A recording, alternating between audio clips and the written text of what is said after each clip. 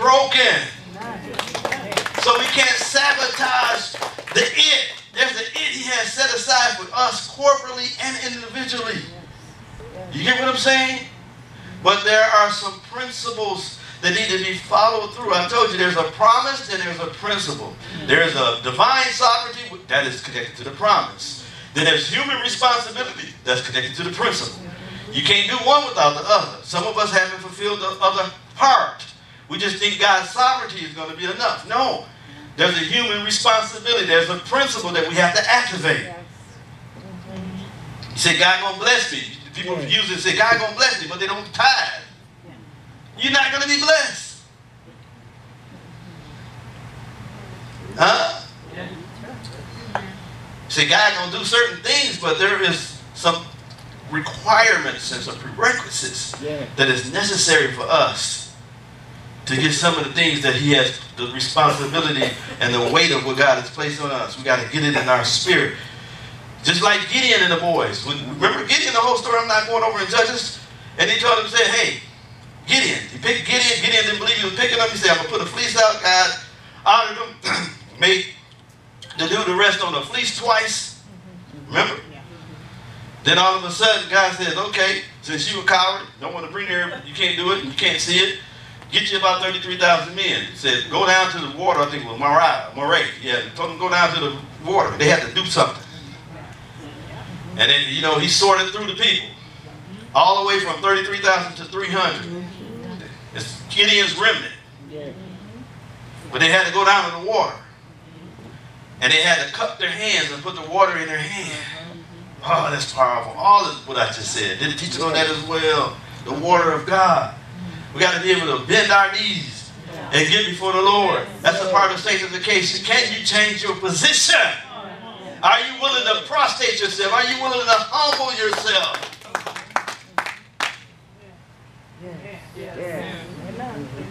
Are you, you follow me? That, that's what I'm saying. That's what's required of us. I'm telling you. There's a sanctification God has required for us.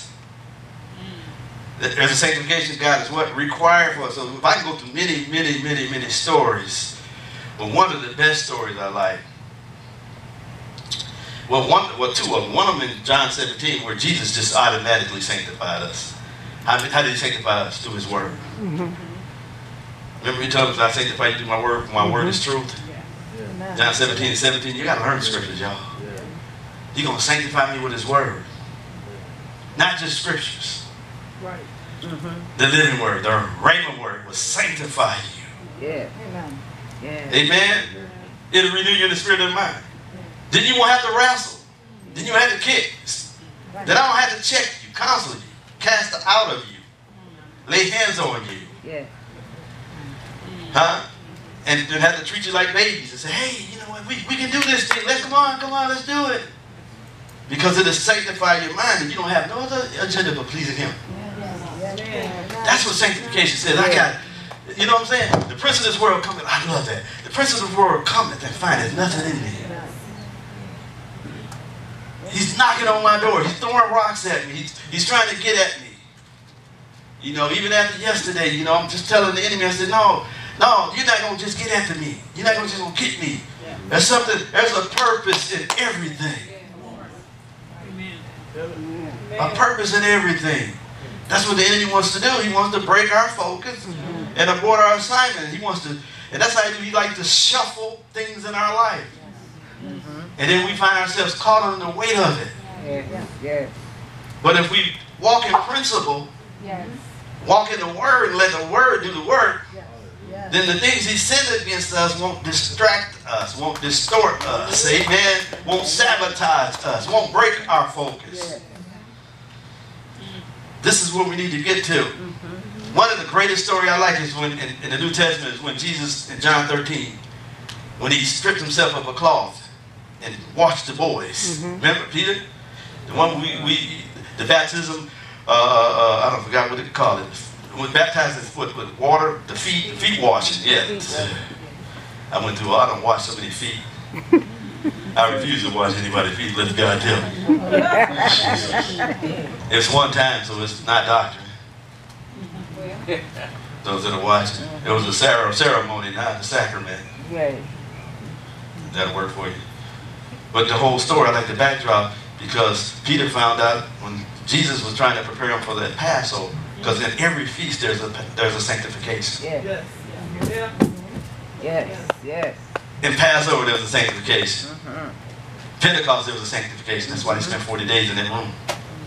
Yes. That's why he spent 40 days with them. But y'all looking at me funny. Yes. Yes. Jesus spent 40 days with them. Mm-hmm. Why? Because there was a sound coming of a rushing and mighty wind. Mhm. Something that the world had never experienced. But God was doing something in them as a precursor to a release of an immeasurable grace brought to them by the Spirit of God. You understand? This is powerful. If you can believe it, you can receive it.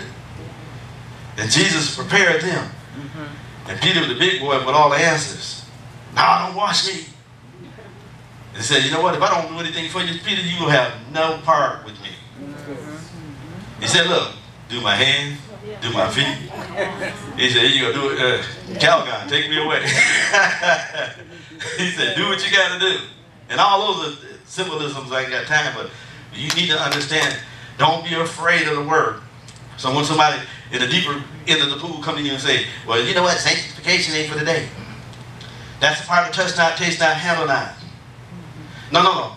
That's protection. Yes. It ain't do's and don'ts. Yes. It ain't what somebody's trying to keep from me. That's right. It is protection. Yes. Amen. Protocols and principles are protections. Those are hedges and the walls of protection. The walls of salvation, the place where God is trying to secure you and keep you from the different things that wants to come up against you. I'm here to tell you, you got to believe that in your spirit, man. And tell yourself, you know what? Just because I can't handle it, it's a reason for it. Yes. when God, you know, interrupts you and you are uh, snacking or you feel the urge to do some things that are not necessarily uh, compatible with the nature that's in you as a life source that's in us. The seed of righteousness is in us. Yeah, I'm, I'm trying to bring it down, but y'all can get it. You got to tell yourself, it's for the long haul. It's for the long haul. You know, my, my, my uh, nephews always tell me, said, one thing I can say about you, I can't ask nothing in all the years that I can lay against you. Nothing. He said, if I was going to go to any church, it'd be your church. Because you're a man of God in the pulpit and a man of God at home. Yes. I've seen you, how you handle the family. You know what I'm saying? And I got, and I used to tell him, thank you, nephew. I just got excited to see that he, even though he didn't commit fully to what we were doing, he recognized that the level of boundaries and respect and, and the honor that I had for my walk and my honor that I had for God. Not necessarily that I need to be seen by other people. But if you do it God's way, automatically you're going to be seen by other people. I ain't gonna do this for nobody. Just between me, I can just do what I want. You emasculate your purpose. You sanitize your testimony. When you start saying, I do what I want to when I want to. No, your life is supposed to affect people, even if you're not ordained. He told us in Matthew 5, 14 and through 16, he said that men may see your good works. And what happened? Glorify you. Not that men should see your titles, your anointing, your casting out of devils. How many churches you over? How many people in your church? But that men can see your good works, see the fruit that's in your life. And we don't have a timetable on when they can recognize that or when they can give their life to the Lord. But we'll lead the results up to God. One plant, one water, but the Lord gives the increase. So I'm not worried on trying to figure out when all this is going to happen.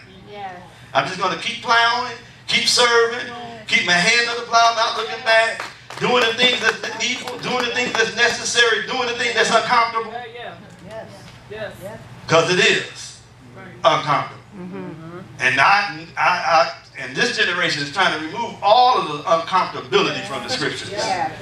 Yeah. They want to give you a peaches and cream gospel. Mm-hmm. No, it ain't peaches and cream. I was watching one of my friends talk about deliverance and spiritual warfare and said, there ain't none. Oh, there are. I'm going to tell you, you ain't got to worry about it. You got to show up.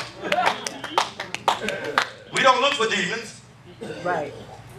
Amen. We don't do spiritual mapping like we used to. Right. Amen. I used to give a checklist for like 20, it was like 20 pages long. Remember? This long. I want to know everything so we can get you set free. We don't do that no more. That was a whole lot of work. Yeah. Wore me out. We're dealing with curses and, oh man, just dig all through your life and trying to figure out what, why you all whacked out and all that stuff. Which is all based on, some of it is pride. Mm-hmm. I know it now. Yeah. But I still believe, although we don't have to go through the logistics of making sure you're free, I still believe there's some things that's in us that's not of God that need to be driven or cast out of us. Amen. Christians have issues, things that they hide, mm-hmm. even in the finished work. Mm-hmm. Yeah. Let me go, go to First Peter 4. I'm gonna leave that alone because I got I'm getting ready to do some series on spiritual warfare. Yeah. Mm-hmm. I gotta get some soldiers. Thank God for lovers. You gotta fall in love first. Yes. Worship. That's what brings you to the love walk.